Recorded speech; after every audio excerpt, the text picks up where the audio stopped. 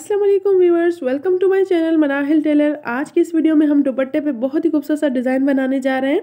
आप यहाँ पे कोई भी दुपट्टा यूज़ कर सकते हैं, जैसे नेट का शेफून का या ऑर्गेन्जा का। कोई भी दुपट्टा जो है वो लेके उसके ऊपर ये डिज़ाइनिंग कर सकते हैं। मैं यहाँ पे नेट के दुपट्टे के ऊपर डिज़ाइनिंग कर रही हूँ।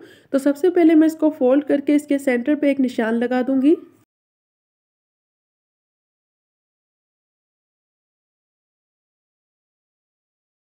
इस तरह से हमने इसके सेंटर पे एक निशान लगा दिया है। उसके बाद आप जिस तरह से डिज़ाइन बनाना चाहें इस, इसके ऊपर बना सकते हैं। यानी अगर आप सीधी सी लाइन ड्रॉ करना चाहें तो सीधी सी लाइन ड्रॉ कर लें। या तो फिर आप इस तरह की शेप दे दें जिस तरह की मैं दे रही हूँ उस तरह से। गोलाई में यूँ करते हुए ऊपर की तरफ़ हम इस तरह से लेके जाएँगे। यानी जिस तरह की शेप आपको अच्छी लगे आप दे सकते हैं इसके ऊपर।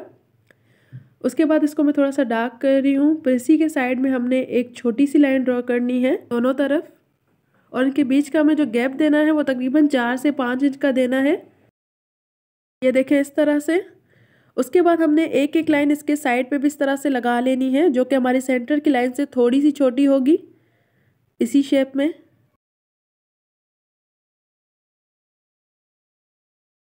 तो यहाँ पे मैंने सारी लाइन्स लगा ली है, अब मैं कपड़े को डबल करके आपको दिखाती हूँ, ताकि आपको अच्छे से नज़र आए। तो ये देखिए कुछ इस तरह की हमने शेप दी है दुपट्टे पे। आप जिस तरह की शेप देना चाहें, दे सकते हैं। अगेन कह रही हूँ, आप अपनी मर्ज़ी से भी इसको डिज़ाइन कर सकते हैं। उसके बाद हमने इसी शेप के अकॉर्डिंग जो है वो गोटा स्टिच करना है। अगर आप सीधी लाइन ड्रॉ करेंगे तो आप रिबिन यूज़ कर सकते हैं। अदरवाइज़ आप इस तरह की कर्व लाइन पे जो है वो रिबिन यूज़ नहीं कर सकते। उसके लिए आपको कोई फोल्डिंग वाली लेस चाहिए होगी। मैं यहाँ पे गोटा यूज़ कर रही हूँ। क्योंकि गोटे को जो है हम किसी भी शेप में आराम से मोड़ सकते हैं। तो ये गोटा आपको हर कलर में जो है मार्केट में मिल जाएगा। पहले सिर्फ़ गोल्डन और सिल्वर में होता था। अब ये हर कलर में अवेलेबल है। अब हम इस लेस को इस तरह से लाइन के ऊपर रखते हुए इसके ऊपर सिलाई कर देंगे। तो चलते हैं इसकी स्टिचिंग की तरफ़। इस तरह से हमने गोटे को यहाँ पे रखना है और उसके ऊपर सिलाई कर देनी है उन्हीं लाइन के हिसाब से। लेकिन आपने इस बात का ध्यान रखना है कि जो हमारा ऊपर वाला थ्रेड होगा, वो हमारे गोटे के कलर का होगा और जो नीचे का थ्रेड होगा, वो हमारे दुपट्टे के कलर का होगा। इस तरह से देखिए, मैंने नीचे जो है, वो ब्राउन रखा है, ऊपर मैंने जो है, वो गोटे का कलर रखा है। उसके बाद आपने इसके ऊपर इस तरह से सिलाई लगानी है। शुरू में आपने सिलाई को थोड़ा पक्का कर लेना है ताकि गोटा खुले ना। उसके बाद बिल्कुल हल्के हाथों से ना अपने गोटे को खींचना है, ना अपने दुपट्टे को खींचना है। बिल्कुल हल्के हाथों से आपने इसके ऊपर सिलाई लगाते हुए जाना है, उसी शेप में, जिस शेप में हमने इसके ऊपर लाइन ड्रॉ की थी।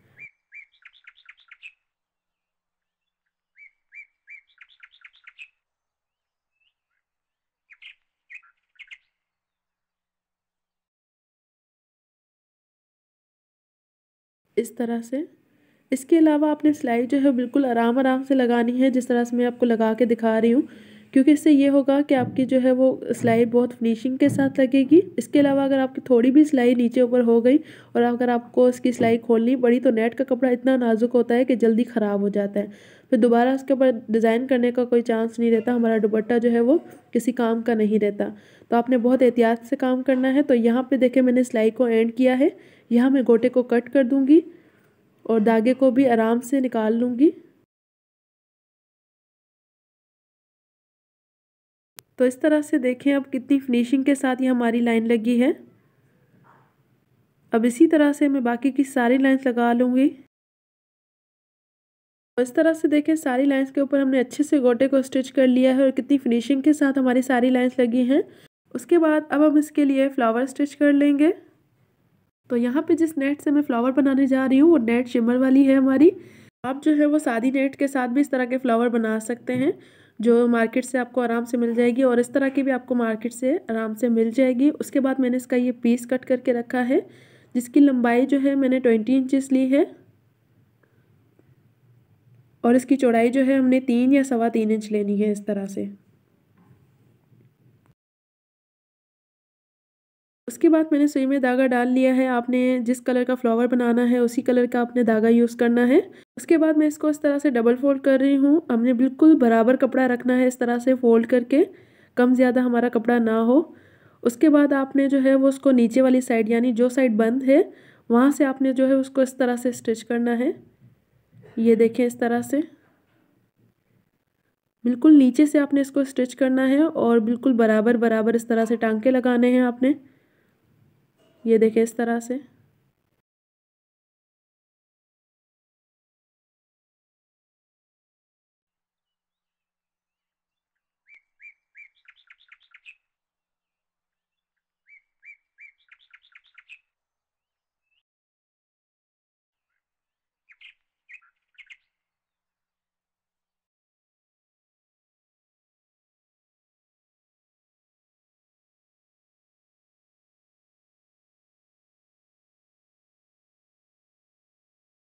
तो इस तरह से देखिए, हमने इसके ऊपर पूरी सिलाई लगा ली है। उसके बाद दोनों हिस्सों को इस तरह से मिलाते हुए हम इसको अच्छे से यहाँ पे पक्का कर लेंगे।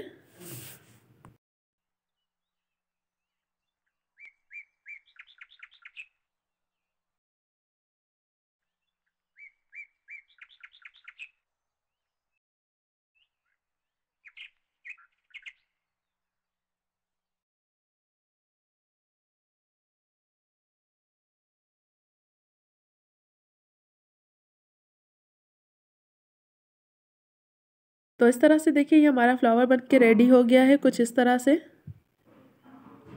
और कितना खूबसूरत लग रहा है। उसके बाद आपने दूसरा स्टेप क्या करना है? इस तरह से आपने नेट को यूँ खोल लेना है, जो ओपन वाली साइड थी वहाँ से। यानी दोनों साइड आपने इस तरह से अलग अलग कर लेनी है। इससे जो है हमारे फ्लावर का शेप जो है बहुत ही खूबसूरत आएगा।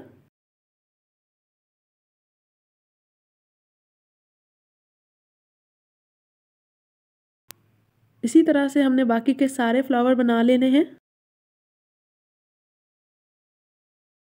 ये देखें, हमने सारे फ्लावर्स इस तरह से बना के रखे हुए हैं सारे। जितने भी आपको चाहिए होंगे उस हिसाब से आप बना लेंगे। उसके बाद अब हम लोगों ने इसको दुपट्टे पे किस तरह से लगाना है, जहाँ पे इसके कॉर्नर है, वहाँ पे हम इस तरह से रखेंगे सारे फ्लावर्स। इस तरह से। और अगर आप चाहें तो नीचे की तरफ़ भी रख सकते हैं इस तरह से। उसके बाद अब हमने इसको स्टिच किस तरह से करना है, इस तरह से फ्लावर को रखते हुए सुई के साथ इस तरह से टांका लगा लेना है, जिससे कि ये अंदर की तरफ़ दब जाए। ये देखें इस तरह से। उसके बाद बैक साइड से आपने इसको अच्छे से पक्का कर लेना है ताकि ये खुले ना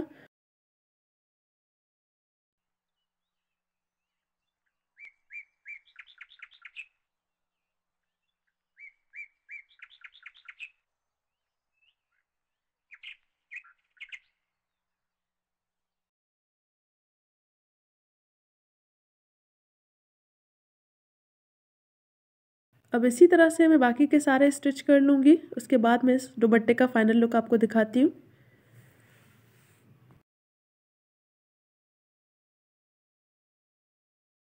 तो इस तरह से देखें हमने दुपट्टे के एक पल्लू पे इस तरह से पूरे स्टिच कर लिए हैं। सेम इसी तरह से आपने दूसरा पल्लू बना लेना है। और सेम यही डिज़ाइन जो है, आप फ्रॉक के दामन के ऊपर या शर्ट के दामन के ऊपर या आप कोई डिज़ाइनर कुर्ती इस तरह से रेडी करना चाहते हैं तो अपनी कर सकते हैं या बच्चों के ड्रेसेस के ऊपर भी इस तरह के फ्लावर स्टिच करके लगा सकते हैं। होप कि मेरी आज की वीडियो आप लोगों के लिए हेल्पफुल रही हो वीडियो अच्छी लगी हो तो लाइक शेयर ज़रूर कीजिएगा। और अगर आप ये डिज़ाइन बनाएँ तो मेरे साथ इसका फीडबैक लाजमी इंस्टाग्राम पर शेयर कीजिएगा। इसके अलावा अगर आप मेरे चैनल पर न्यू हैं तो चैनल को सब्सक्राइब करना ना भूलना। साथ में रखकर बेल आइकन को ज़रूर प्रेस करें, ताकि मेरी न्यू आने वाली वीडियोज़ की नोटिफिकेशन आपको मिलती रहे। मिलते हैं नेक्स्ट वीडियो में। अल्लाह हाफिज़।